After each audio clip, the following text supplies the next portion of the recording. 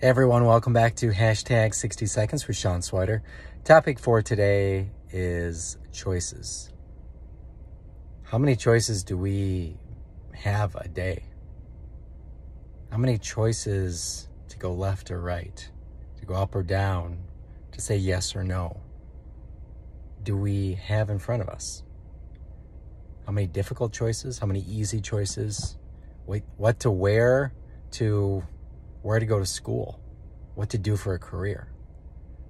Every choice you make in life has an impact on you and those around you.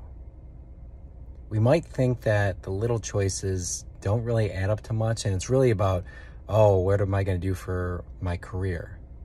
But those little choices add up. Those little choices, as you add them up, can be just as big as those big choices that you think about.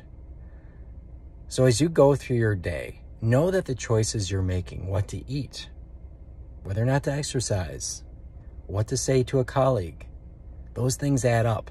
Those shape your life. Don't shy away from the little choices. Don't just focus on the big choices because one day those little choices will become a big choice. They will open the door to bigger choices that you'll make. Till next time, guys, take care.